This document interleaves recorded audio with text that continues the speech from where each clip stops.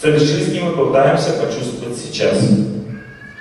Сейчас мы будем повторять «Я желаю всем счастья», вспоминать святого человека на иконе. Это может быть святая Матрона, это может быть мать Тереза, это может быть Сергей Радонежский, Серафим Саровский, Иоанн Кронштадтский там, и так далее. Но я привожу, я не говорю вам там группа Госвами, Санатана, не привожу в шутке как бы пример, который как бы, многие из вас вообще не понимают, о чем речь. Мы в какой-то определенной культуре родились, которой мы знаем святых. А святые есть в разных культурах. Я, допустим, когда был в Башкирии, в Уфе, на меня надели мусульманский халат в знак благодарности вот от священника, как бы шапочку, и повторял, что я желаю всем счастья в этом одеянии, хотя я его не достоин. Но мне потом рассказали, вот, кто достоин, какие святые там есть. И я преклоняюсь перед этими людьми возвышенными. Понимаете, то есть в каждой культуре есть святость. Надо найти святого. Не знаете, вы не знаете, допустим, возвышенный или нет, насколько он возвышенный, имеет значение. Мы сейчас будем изучать эту тему. Мы ее изучаем. Надо кланяться святому человеку, которого ты представляешь. И здесь есть один ключевой момент, очень важный. Знаете, какой ключевой момент? Я хочу быть тебе полезен. Вот этот момент очень-очень важный, потому что вы, когда кланять начнется, вы о нем забудете. Знаете, когда? Вы если через святого человека почувствуете, дальше смотрите, вот сейчас у нас будет очень глубокий анализ. Попытайтесь его внимательно слушать. Вы когда святого человека почувствуете, когда вы ему действительно поклонитесь искренне в своем сердце, первый этап, я желаю всем счастья, будет тупой. Я желаю всем счастья, кланяюсь святому, ничему я никому не кланяюсь, святого я не чувствую, и в сердце возникнет отчаяние. Вот это очень важный момент, потому что если его не возникнет, дальше ничего не будет. И надо потом, когда отчаяние возникнет, надо попросить. Я не могу даже покланяться тебе и даже тебя почувствовать. Помоги мне сам это сделать. Понимаете, человек должен отказаться от вот этого ощущения, что я сам, я могу. Вот это вот ощущение зависимости, оно очень ценно, потому что мы все зависимы на самом деле. Мы дышим не тем, что сами создали. Мы себя не рождали и себя не умираем. Мы едим тем, что Бог дает. Один человек, я слышал такой, говорит, я вырастил огромный урожай. Ну как ты вырастил, мой хороший? Как ты вырастил? Ты этот огромный урожай не поливал, потому что его поливал дождь. Ты мог только посадить эти семена, а вырастил его не ты. Ты не можешь этот синтез весь сделать, то, что там происходит, это непостижимо для нас. Я вырастил урожай. Понимаешь, мы, мы так живем. Вот когда ты плакал и молился, чтобы дождь пошел, потому что этот урожай погибает, и дождь пошел, вот тогда ты свою свободу выбора выполнил правильно. Понимаете, вот тогда твоя свобода выбора, то есть наш, у нас два варианта свободы выбора. Я все могу или я зависим. Веды говорят, я зависим, это самое могущественное положение в этом мире. Вот, допустим, идет война, армия сражается. Кто победит? Единые люди, которые подчинены одной воле, или те, которые независимы? Победят единые. Те, кто в строгом подчинении находится, они победят несомненно.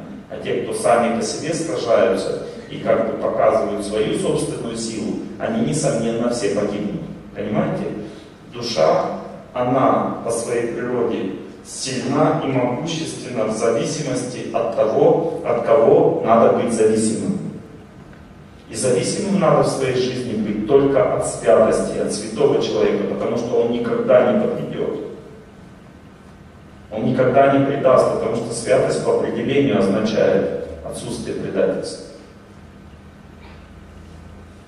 И веру свою человек должен таким людям давать, потому что через них действует Бог.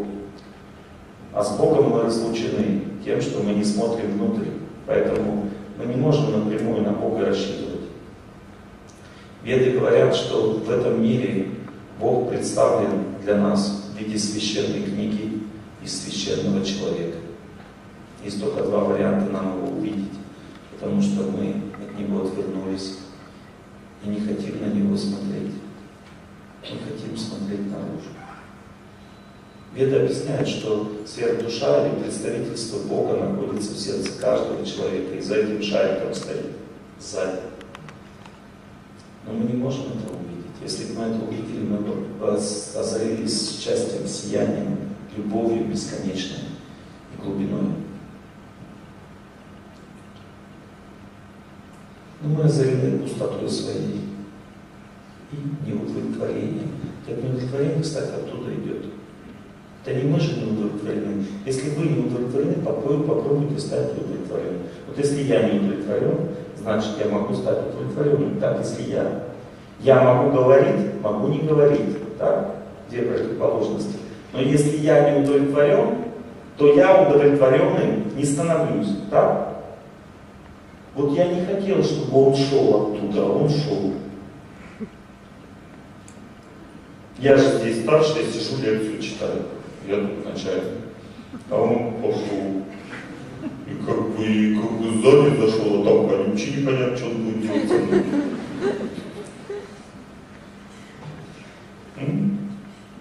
Это как раз и есть деятельность Бога. Она не зависит от нас. Вот когда человек, Бог хочет человеку себя показать, он знаете, что делает? Берет и жену и уводит. И говорит, прощай со всех вокзалов, поезда, уходит дальние края. Прощай, прощай. Но сделать ничего не можешь. Или близкий человек как тело оставляет. О, Бог себя показывает так. Он показывает, что мы здесь беспомощны. И в это время мы становимся очень... Нам неловко, потому что мы-то, когда это не планировали в своей жизни. Так вот, знаете, что человек по-настоящему могущественный, когда он всегда себя считает беспомощным и зависимым от чистого. Это уже не беспомощность означает. Вот сейчас мы этим будем заниматься. Сейчас будет интересный тренинг, я вам уже все объяснил. Итак, надо ждать этого отчаяния, которое даст возможность стать беспомощным. Повторять, я желаю всем счастья. Мы повторяем, я желаю всем счастья. Кланяемся.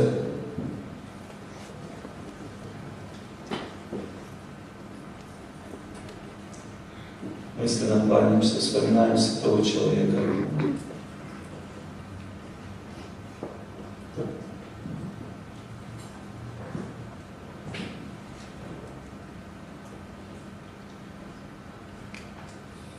И один только настрой. Я хочу быть тебе полезен. Я хочу быть тебе полезен. Я хочу быть тебе полезен. И в чем полезен? В том, что мы будем повторять. Потому что это Он желает всем счастья. А мы желаем счастья только себе самому. В этом заключается разница. Когда человек становится полезным в святости, в этом случае он начинает жить. Если вы добьетесь этого искренне внутри, я хочу быть тебе полезен, чтобы ты желал счастья, вы почувствуете вечность, вы почувствуете чистоту в сердце. Первое, что придет к вам, и всегда это первое приходит, это в сердце знание, а во мне. Почему я не могу на работу устроиться? Почему я не могу? О том знание, что практично. Когда человек в правильном направлении свой взор направил, первое, что приходит в его жизнь, глубоко в сердце приходит, неожиданно приходит знание. И мы сейчас это будем слышать, там много людей, у нас еще есть время. Мы сейчас пожелаем всем счастья, а потом те, кто услышал и понял, они встанут и скажут, и вы увидите, что это все не бесполезная деятельность. Я желаю вам, чтобы вы это поняли и увидели. Но условие такое, чем больше вы хотите, захотите понять и увидеть, тем меньше вы увидите и поймете. Потому что человек может увидеть и понять только, когда он отвлекся от себя. Он должен желать счастья и быть полезным. Он должен быть полезным, он должен хотеть быть полезным и забыть про себя. И когда вы увидите неожиданно и поймете для себя что-то важное, надо это отбросить и опять я хочу быть полезным для тебя, я не хочу думать про себя, я не хочу настраиваться. Или у вас что еще может возникнуть? Вы будете желать всем счастья, у вас неожиданно возникает счастье. Все. Я забылся, я уже никому полезен не хочу. Потому что цель-то моя была вот это вот. Я хотел просто вот это чувство. Олег Геннадьевич, спасибо вам за это чувство. Еще на лекцию не зря сходил. Олег Геннадьевич считает, что зря. Потому что человек должен это отбросить и опять, я хочу быть полезен, надо от счастья убегать. Оно будет догонять сейчас, а нам надо убегать. Когда человек духовной практикой занимается, его счастье всегда догоняет, и надо от него убегать. Иначе оно сшибает с ног.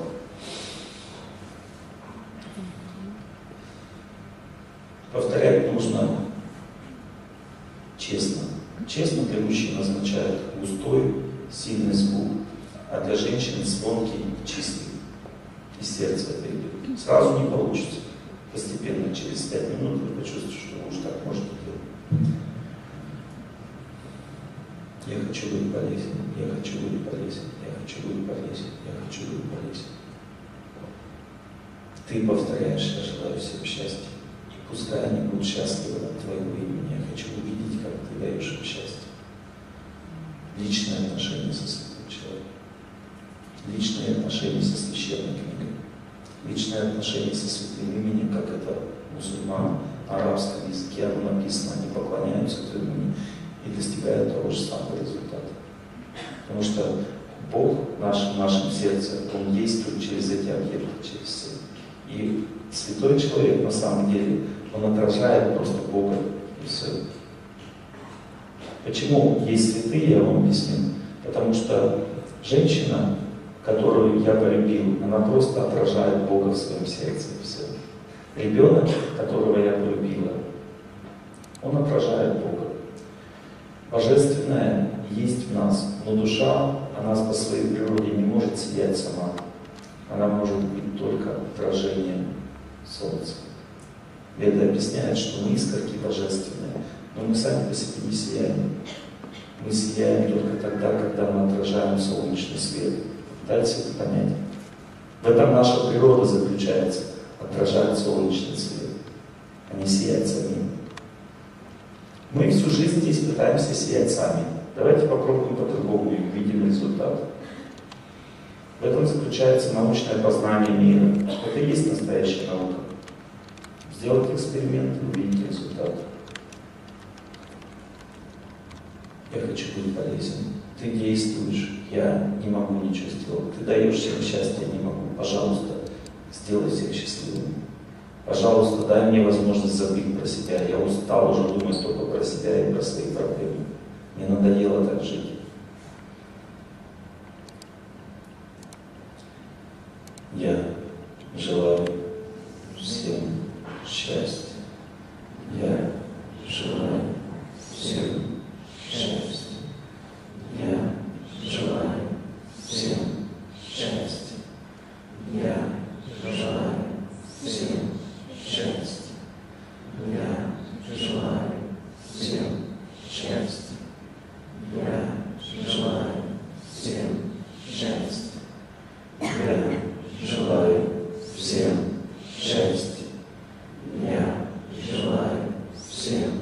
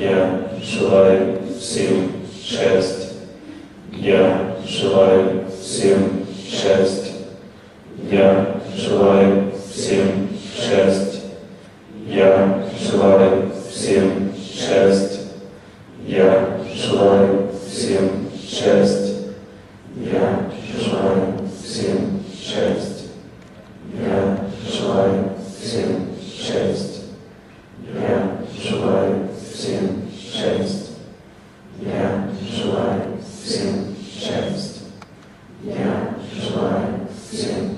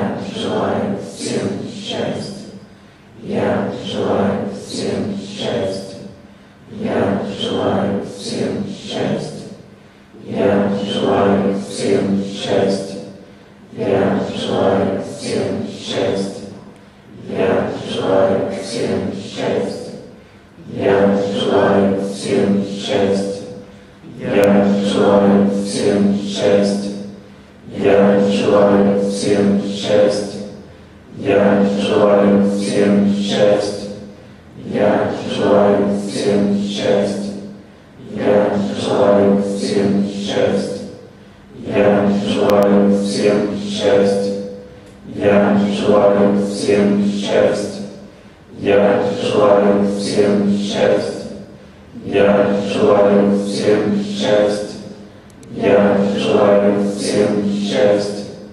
Я желаю всем счастья. Я желаю всем счастья. Я желаю всем счастья. Я желаю всем счастья. Я желаю всем счастья. Я желаю всем счастья. Я желаю всем счастья.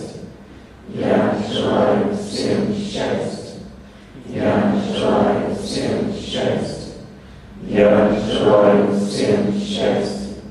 Я желаю всем счастья. Я желаю всем счастья.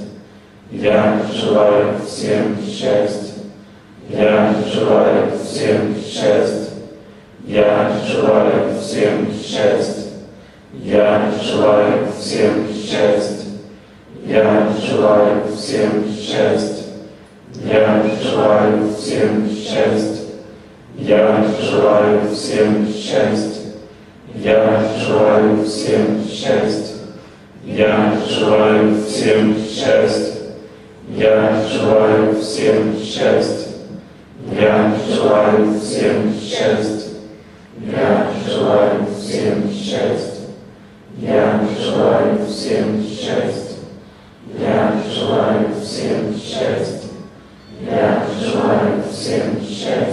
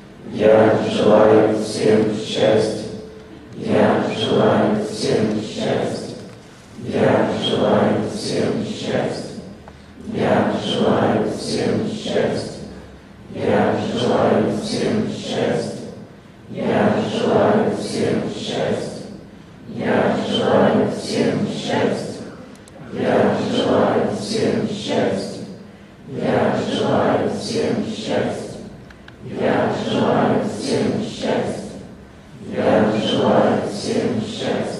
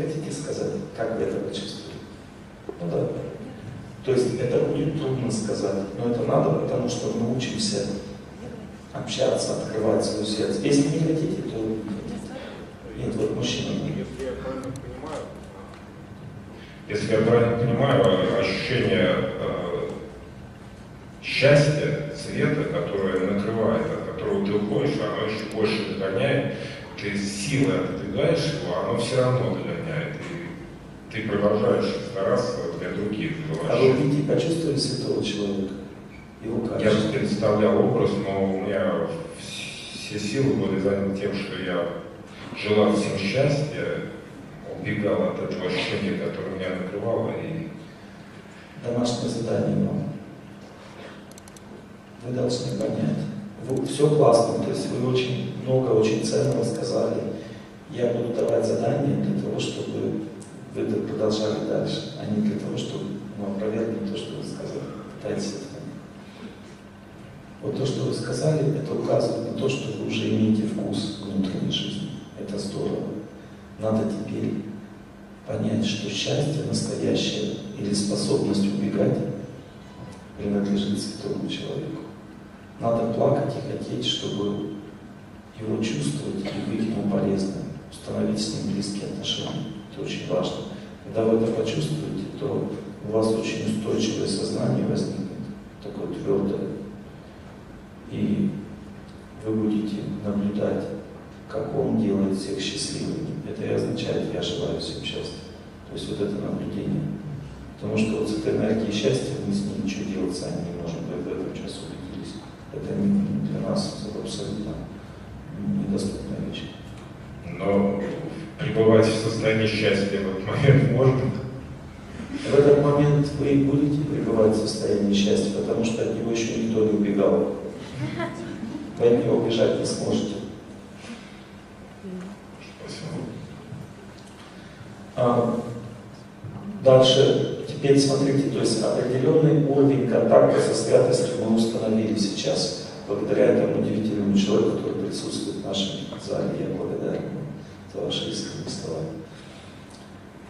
Теперь я хотел бы услышать того человека, который почувствовал святого человека, его стопы, его чистоту. Вот вы почувствовали, да? Давайте, скажите мне, пожалуйста. Только не надо разбор полетов, то есть э, надо говорить, где я была и что я видела, а просто вот как это произошло, как это вам помогло в медитации. Ну, я представляла Кришну, у меня были брошюры, я смотрела на него, и мне было трудно вначале. Я просила очень, чтобы я помог. войти в мое сердце и передать вот это ощущение счастья другим людям.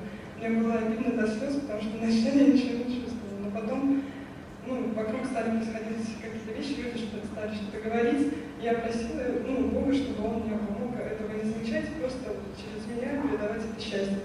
И я отключилась от всего и в таком состоянии до сих пор какого-то транса пребываю. Ну вот вы немножко, это все хорошо, но вы не поняли меня. Я просил Ну, я прочувствовала, ну, то есть я старалась представить, вот, то есть поклониться, да, вот, целиком и... отношения со стопами Да. святого человека, отношения со святостью. Это очень тяжело, на самом деле. Да, да, поэтому я просил того человека поднять руку, кто смог почувствовать святого и быть ему полезен, быть ему полезен.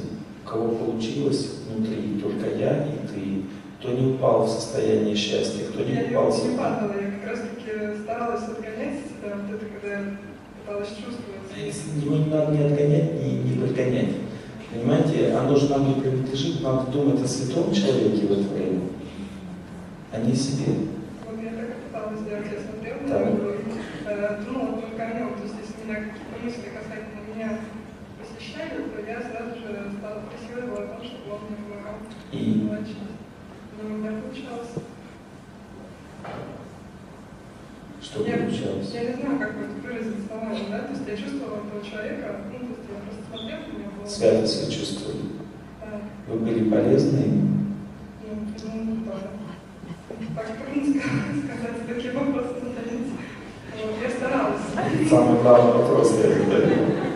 Видите, как вы? Вопрос тяжелый. Спасибо вам большое. Я вам очень благодарен. У меня к вам совет. Совет один очень важный.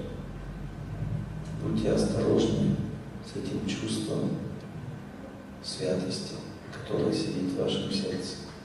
Оно вас обманывает. Мы на самом деле не святые. Мы очень грешные. И это надо понять когда-нибудь в своей жизни.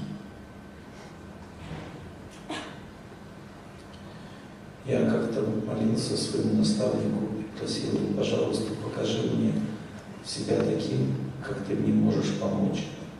Молился своему духовному учителю, пожалуйста, покажи. А он никогда таким передо мной не представал, как он мне предстал передо мной в этом образе, который я увидел. Я увидел очень и очень строгий. Очень и очень строгий.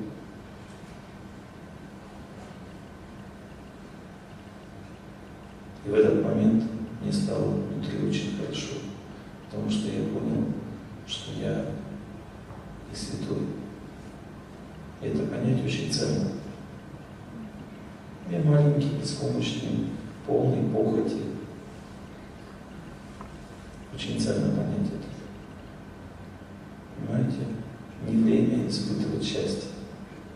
Мы должны изучать этот мир. Мы должны углубиться в отношения со святым, потому что первое, что дают эти глубокие отношения со святостью, они дают трезвость по отношению к себе и любовь по отношению к другим. Тебе реально начинает хотеться любить их. Я вот слова благодарности произнес. Знаете почему? Потому что я когда кланялся своему наставнику в своем сердце, кланялся ему, кланялся, и в какой-то момент, знаете, я что понял? Я понял, что он желает всем счастья, и в это время я чувствую людей, я чувствую, какие они глубокие, хорошие, чистые и светлые пришли на эту лекцию. Я это, это можно почувствовать, когда ты им кланяешься этим людям. И я как-то интуитивно так начал в результате как-то от наставника переключился на его отношения с ними. И я повторял, я желаю всем счастья и смотрел, как это счастье, которое он дает, оно отражается и показывает мне людей.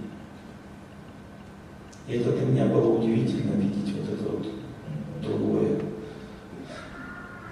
Обычно же хочешь стать себя круче. То есть я пришел здесь лекцию читать. Меня посадили повыше. А здесь я вот уникальную вот эту вот ситуацию почувствовал, что люди лучше меня. Они лучше, они чище, они возвышеннее. И это очень уникально видеть. Нужно. Понимаете? На первых этапах вот этой работы старайтесь не прельщаться. Хорошо? То есть это хорошо, почувствовать себя счастливым, а почувствовать, что у тебя вот наполнило это все, это все хорошо, но это не поможет. Потому что вы можете увидеть очень много людей, которые так называемой духовной практикой занимаются. Я тоже занимался такой духовной практикой лет 20 назад. Мы собирались все вместе и рассуждали, кто как увидел Иисуса Христа. Каждый день увидели Иисуса Христа, каждый это нормально было. Это вы Иисуса Христа вообще. Некоторые гуляли с ним, общались. И потом я как бы начал жития святых читать. Это, кстати, важно читать, как люди вообще общаются со святостью, потому что это отрезвляет немножко. Например, мать Тереза, она всего лишь один раз услышала в своей жизни голос с неба. И только потому, что она не знала, что ей дальше делать. Она помогала нищим в Калькутте, а ее орден запретил ей это делать и сказал, что это не наше занятие, ты не должна этим заниматься. И она хотела этим заниматься, но ее наставники запретили, тогда голос неба сказал ей, ты должна этим заниматься. И она почувствовала, что это глаз Бога. Но это один раз в жизни у нее был. Матерь Тереза, которая любила вся земля, как мать человечества. Представляете, какая личность это была? И сейчас есть.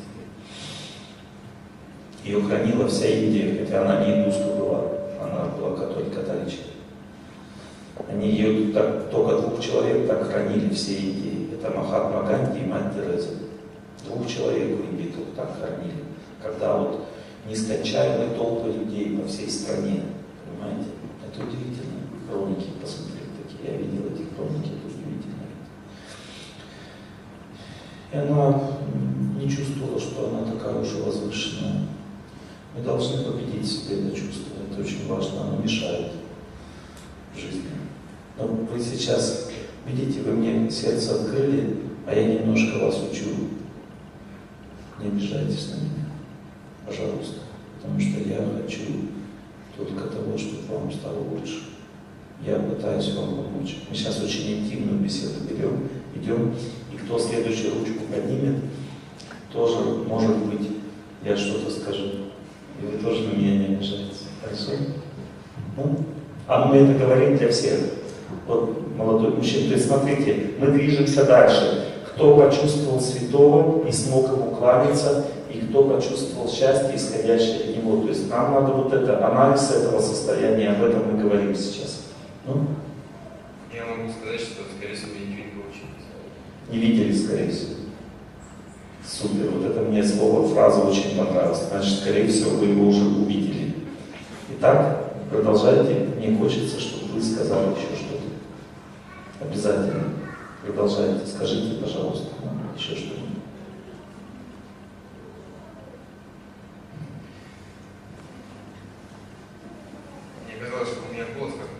Как? Что у меня голоса нет. Так. У меня все сперло внутри.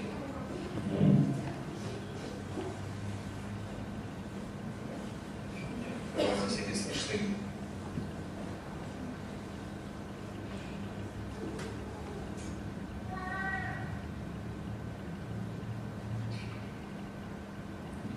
Спасибо. Я очень признателен за ваш доклад, потому что этот доклад показал, что взгляд повернулся внутрь. Видите, как человек себя чувствует, когда взгляд внутренний? Помните, я сказал, как отец моей жены встал и не смог сказать. Когда взгляд поворачивается внутрь, то человек там видит беспомощность. Это очень ценно узнать, что вот такая практика бывает. Первое, что человек видит беспомощность. И а, он также видит, что он не видит святого. Он хочет его увидеть, он не видит. Вот кто это тоже почувствовал? Я хочу увидеть и не, не вижу. Вот, пожалуйста, я хочу вас слышать в очках. Вот вы часто приходите на лекции. Как вас зовут? Да? Наталья, пожалуйста, скажите, мне очень ценно и важно слышать от вас потому что это для всех очень ценно и важно. Ну, я просто ощущала себя сборищем несовершенств каких-то. Ну, Так. и, И вы об этом думали? Нет, я просто желала счастья старательно. И старалась вообще не думать о себе. Ну, нет, Молодец, молодец. ну, ну, обычно как вот там, делаешь свет, ну, солнце, может, нет, темно, куда-то шкребемся. Ну, вот идет пульсация сверху, а тебя в сторону. Вот это ощущение было. Но то, что я несовершенна, это я ощущала очень сильно. Ну вот следующий этап такой. Даже это не является главным. Да. Потому что это главное. Это забыть про себя и стать полезным. Я хочу быть полезным святому человеку, я хочу быть полезным, я хочу быть полезным, я хочу быть полезным. Очень хочу. Вот это вот чувство, желание быть полезным, вы знаете, к чему приводит? Человек забывает про себя, он забывает, что он совершенный или несовершенный. Он забывает про себя, хороший он или плохой. Он просто хочет жить для святого человека. И в этом состоянии он обретает глубокий покой. Потому что покой к человеку приходит тогда, когда его жизнь повернулась в правильное русло. У меня вопрос ко всем, кто сидит в зале. А кто из вас решил проблему? Есть такие, кто оп, и решил внутри? Есть такие? Скажите, пожалуйста, нам об этом. Мы хотим об этом услышать. Как это произошло? Вы знаете, я буду говорить, конечно, очень волноваться.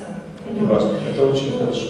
а, На самом деле, вот на одной из, из ваших семинаров, на одном, не на первом, а, я бы не смогла говорить после того, что со мной происходило вот в тот момент. То есть, если бы сейчас произошло это, я бы не смогла это описывать. Вот. Сейчас я не почувствовала это, но вот в тот раз это было что-то необыкновенное, потому что я где-то сталкиваясь в первые минуты, вот после первых фраз, начала просто слезы начали течь. И не было чувства никакого там счастья или горя. Просто вот слезы течь, и ты вообще перестаешь себя, ну вообще, ты не слышишь ни, ни своих слов, не слышишь никого. Вот. М, И как бы вот получилось кланяться стопы святому человеку, представлять тех людей, Так, это очень важно. которым Сейчас. хочешь помочь, Так, и, это очень важно. очень трудно помочь, потому что у тебя в душе есть к ним определенные чувства не очень хорошие. То есть те люди, которые кажется, что они мешают жить тебе. И ты как бы, вот, я даже не знаю, как это кратко описать. Но то кто им помогал этим людям? вот, вот ты ощущаешь себя таким пустым, что даже, ну, вот как бы пустотой такой, как проводник какой-то. От того человека, от святого, от стопа. Вот, вот такая энергия идет вот к этим людям, которым как бы ты хочешь помочь, которым есть вот негативное чувство, кажется, вот оно есть. Вот. А вы какое открытие вы для себя сделали? Что вы узнали? Эм, Вы сказали, вы подняли руку, что вы поняли что-то в своей жизни. Ну, потому что действие произошло. То есть э, э, важно даже не то, что я поняла, а то, что эти люди почувствовали. То есть потом были дальше действия в жизни, когда как бы они почувствовали прощение, вот, ну, вернее, что я просила прощения. Или какую-то вот, вот эту энергию, вот, понимаете, на положительное повернулась от них. Все, я все понял. И я, я очень вам благодарна за вот эту Очень возможность. хорошо. Только на ваших вот За семинарах раздолженность нет, на за ощущение возможности служить святому человеку? Вот да, вот после этого я поняла, что такое, поняла, что такое молитва и как ее нужно делать. Вот это открытие было прямо. Вот что нужно делать в этот момент почувствовать. Спасибо вам. Спасибо. Я сделал несколько выводов, которые сейчас хочу сказать после вашего доклада. Первый вывод. Вы очень правильный настрой взяли. Во что бы то ни стало чувствовать стопы святого человека, кланяться ему. И это их понять можно только если повторять все время и хотеть. Я хочу быть тебе полезен. Вот этот настрой приближает к святости, потому что все остальное это просто эмоции и чувства, которые нам кажутся глубокими, но на самом деле они поверхностные. Потому что вот это вот ощущение, мне стало хорошо, которым так все ждут, это побочный продукт вот этой деятельности. Оно бесполезно.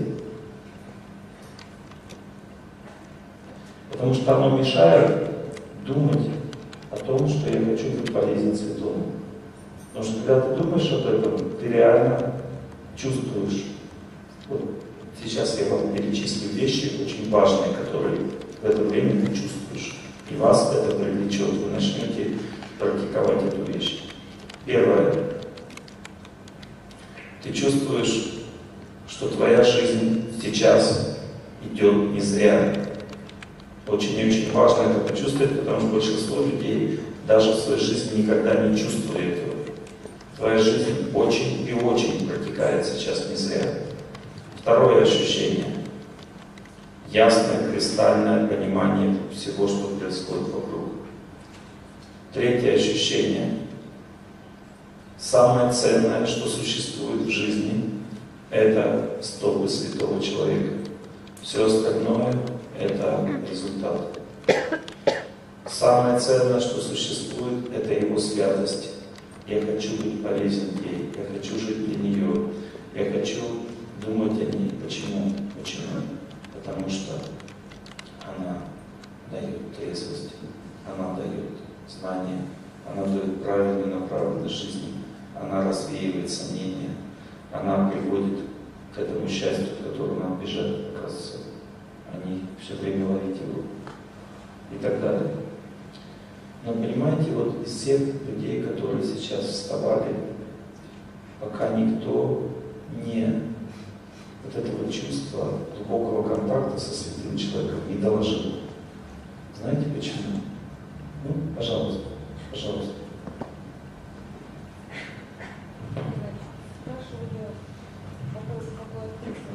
Так, так.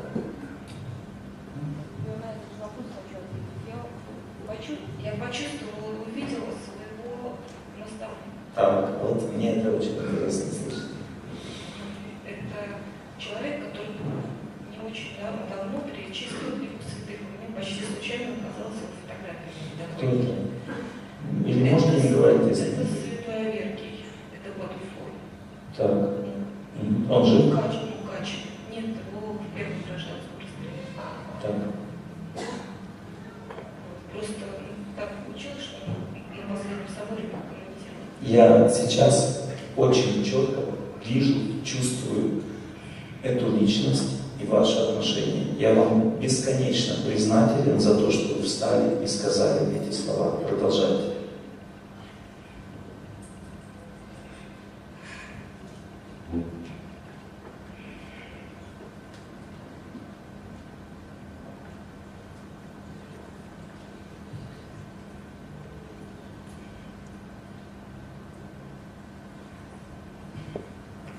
Я поняла, как мы общаемся. Поняла? Как? То, как вы сказали, очень, очень стало близко.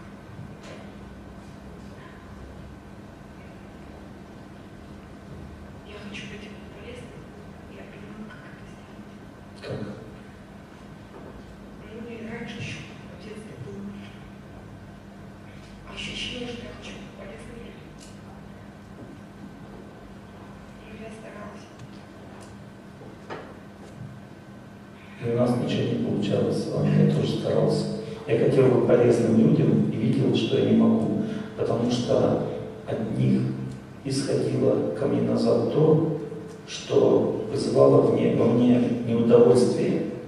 То есть я им пытался быть полезным, а назад я возвращалось желание от них что-то получить. Представляете? И я понял, что надо сначала научиться быть полезным святому человеку. Когда ты святому человеку становишься полезен, то что происходит? Он делает пользу всем, и у тебя никакого чувства плохого дальше не возникает. То есть устанавливается правильный ход вещей. То есть я могу быть полезен людям, принося пользу святому человеку. Вот этот ход событий является правильным и единственным в этом жизни. Спасибо. Пожалуйста, скажите еще что-нибудь. Я очень много ваши слова ценят сейчас. Женщина передо мной говорила про слезы. Как? Женщина передо мной говорила про слезы. И у меня такого не было очень что еще до того, как ну, стали желать всем счастья, поток слез такой начался. И я не могу даже объяснить это. Не, не могу сказать, что это счастье, не могу сказать, что это горе или разочарование. А что? Это какое-то понимание, Это наверное, знание, это знание. Оно выше стоит, чем вот наше представление о счастье, горе и всем остальном. Знание, оно самое дорогое, потому что оно сердце делает глубоким, чистым, радостным и правильно направленным. И от вас исходит сейчас знание. Я его вижу, чувствую. Я очень благодарен вам за это. Или, конечно, время желания счастья такие мысли слабые ему были, что а интересно, как я выгляжу, а вот, а вот на других посмотреть, а как, в общем, от этого соблазна по поводу посмотреть на других, это на задумки только посмотреть. Вот. Э, Ну не то, что противно было от этого, да, от этих мыслей, а, ну да, есть такое. Знаете, почему есть такая? Потому что мало внимания мы уделяем святому. Мало. Да. Мало о нем думаем. Мало ему служим, мало, мало хотим быть ему полезными, мало. Это только наша проблема. Я пыталась его найти, наставника, слушала ваши лекции, хотела найти наставника, и все не могла понять, как. Он у меня на подоконнике стоит. Спасибо вам. Спасибо. Спасибо. Ну вот как бы м, цель моего вот этого небольшого тренинга была, заключалась в том, чтобы вы поняли, как сложно проводить эту работу. Вот видите, вставали разные смелые, очень глубокие, хорошие люди. И они делали доклады, а я плохой человек, на самом деле. Честно вам говорю, плохой. Вот. Я их поправлял, хотя на самом деле не имею никакого права это делать. Но я это делал только для того, чтобы вы поняли, насколько это сложно. Вот те, кто вставали, они это поняли.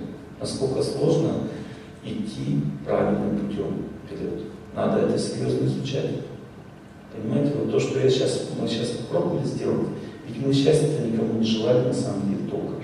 Мы просто в эмоции игрались, мы были, испытывали счастье, здесь сидели. Мы как бы еще что-то делали. А надо, да, что было делать? Надо было быть полезным святому человеку и смотреть, как он живет. Потому что жить начинает человек только тогда, когда он устанавливает отношения с Богом.